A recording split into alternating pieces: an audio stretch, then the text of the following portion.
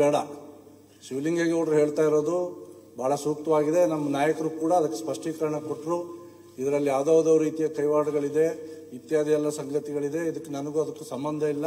ಈ ರೀತಿ ಸ್ಪಷ್ಟನೆಗಳು ನಾನು ಕೊಟ್ಟಾಗಿದೆ. ದಯವಿಟ್ಟು ತಮ್ಮಲ್ಲಿ ನಾನು ವಿನಂತಿ ಮಾಡಿಕೊಳ್ತೀನಿ. ನಾನು ಬಹಳ ಮನನೊಂದು ನಮ್ಮ ಕುಟುಂಬದ ಬಗ್ಗೆ ಯೋಚನೆ ಮಾಡಿ. ತಾವು ಆ ಸ್ಥಿತಿನಲ್ಲಿ ಇದ್ರೆ ಮಕ್ಕಳು ಯಾವ ಸ್ಥಿತಿನಲ್ಲಿ ನನ್ನನ್ನು ನೋಡ್ತಾರೆ ಮಕ್ಕಳಿಗೆ ಮೇಲೆ ಏನು ಪರಿಣಾಮ ಆಗತ್ತೆ? ಮಾಡೋರಿಗೆ ಭಾಳ ಚೆನ್ನಾಗಿ ಕಾಣಿಸುತ್ತೆ.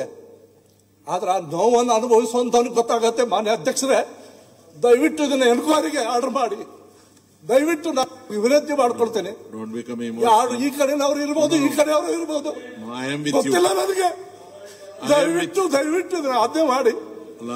ಯಾಕಂದ್ರೆ ನನ್ನ ಮಾನ ಹರಣ ಮಾಡಬೇಕು ಅಂತ ಹೇಳಿ ದಯವಿಟ್ಟು ಕುತ್ಕೊಳ್ಳಿ. ದಯವಿಟ್ಟು ಕೂತ್ಕೊಳ್ಳಿ. ಅದಕ್ಕೆ ದಯವಿಟ್ಟು ಹೇಳ್ತೀನಿ. ಅರವಿಂದ್ ಅರವಿಂದ್ ಆಡಳಿತದ ಬಹಳ ಕಾಲಗಳಿಂದ ನಡೆಸ್ತಾ ಇರ್ತಕ್ಕಂಥವ್ರು. ನನ್ನೊಬ್ಬ ಗೌರವ ಶಾಸಕರನ್ನ ನಿಯಂತ್ರಣ ಮಾಡೋದಕ್ಕೋಸ್ಕರ ಮಾತ್ರ ನೋವು ವಾಮ ಮಾರ್ಗಗಳನ್ನು ಹಿಡಿದ್ರೆ ವಾಮ ಮಾರ್ಗಗಳನ್ನು ಹಿಡಿದ್ರೆ ಈ ರೀತಿಯ ಚಟುವಟಿಕೆಗಳನ್ನು ಮಾಡಿದ್ರೆ ಇದು ಸರಿ ಹೋಗಲ್ಲ ಅಧ್ಯಕ್ಷರೇ. ಶಿವಲಿಂಗೇಗೌಡರು ಎತ್ತಿದ್ದು ಬಹಳ ಒಳ್ಳೇದಾಯ್ತು. ದಯವಿಟ್ಟು ತಾನು ನಾನು ತಮಗೆ ವಿನಂತಿ ಮಾಡ್ಕೊಳ್ತೀನಿ. ಇದಕ್ಕೆ ಯಾವ್ದಾದ್ರು ಒಂದು ಎನ್ಕ್ವೈರಿಯನ್ನ ದಯವಿಟ್ಟು ಆಜ್ಞೆ ಮಾಡಿ. ಇಲ್ಲದೇ ಇದ್ರೆ ಇವತ್ತು ನನ್ನ ಬಗ್ಗೆ ಆಗಿದೆ. ನಾಳೆ ಇನ್ನೊಬ್ಬನ ಬಗ್ಗೆ ಆಗ್ಬೋದು. ಆ ಕಡೆ ಕೂತಿರೋರ ಬಗ್ಗೆ ಆಗ್ಬೋದು. ಗೊತ್ತಿಲ್ಲ. ಮುಂದಿನ ಪೀಳಿಗೆ ಇದ್ರ ಬಗ್ಗೆ ಏನಂತ ಯೋಚನೆ ಮಾಡ್ತಾರೆ. ನಾವು ರಾಜಕಾರಣದಲ್ಲಿ ಇರಬೇಕು ಇರಬಾರ್ದು ಅನ್ನುವಂಥ ಸ್ಥಿತಿ ಬಂದಿದೆ.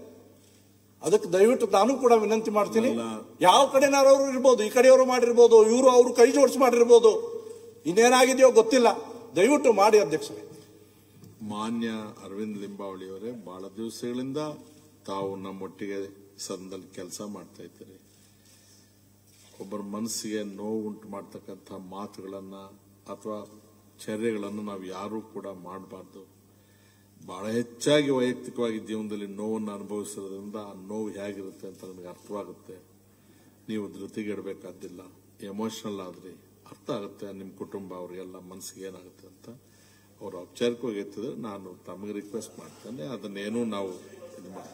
ಅಲ್ಲ ಎನ್ಕ್ವೈರಿ ಇನ್ಕ್ವೈರಿ ಈಗ ಬಹಳ ವಿಚಿತ್ರವಾದ ಸನ್ನಿವೇಶದಲ್ಲಿದ್ದೇವೆ. ನಾವು ಮುಂದೆ ಮಾಡಬೇಕು ಮುಂದೆ ಯಾವ್ಯಾವ ಸನ್ನಿವೇಶ ಬರುತ್ತೋ ಯೋಗ್ಯ ಅನ್ಸ